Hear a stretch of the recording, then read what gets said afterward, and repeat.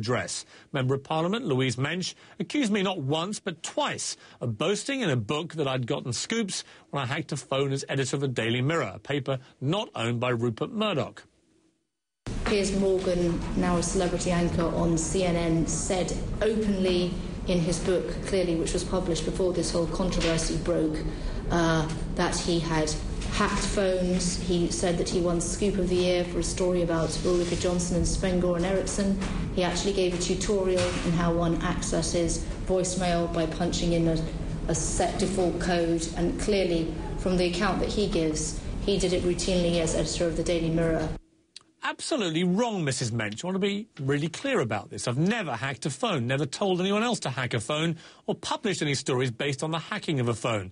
Here's what I actually said in my book, The Insider, and I quote directly. Apparently, if you don't change the standard security code that every phone comes with, then anyone can call your number, and if you don't answer, tap in the standard four-digit code to hear all your messages. I'll change mine just in case, but it makes me wonder how many public figures and celebrities are aware of this little trick.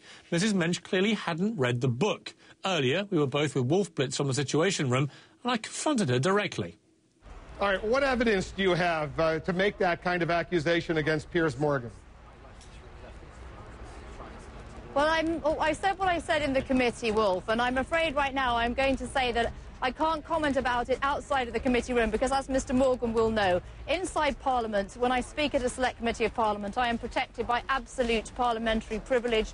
To uh, repeat something outside of Parliament doesn't give me that cloak of privilege. Well, I understand the legal grounds. Piers Morgan is joining us on the phone right now. I want to give him a chance to respond to that very direct allegation you made against him and his reputation. Piers, go ahead and uh, respond and uh, tell Mrs. Mensch what you think. Well, I'm amused by her cowardice in, in refusing to repeat that allegation now she's not in Parliament and covered by privilege. What she did today was a deliberate, in my view, and outrageous attempt to smear my name, CNN's name, the Daily Mirror's name, and I think her now to have the breathtaking gall to just sit here calmly and say, I can't possibly repeat that because I haven't got privilege, is an outrage. And I call on you, Miss Mensch, now to repeat it, show some balls, repeat what you said about me, and then maybe go and buy a copy of my book, The Insider, and see where in that book these claims that you made today in a uh, televised committee watched all over the world, where that claim is in that book, because it isn't there. All right, uh, Mrs. Uh, Mensch, do you want to respond to that? They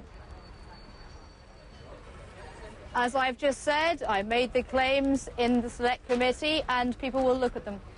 Yeah, it's not in the book though, Mrs. Mensch, is it? So why don't we just figure on exactly what you said?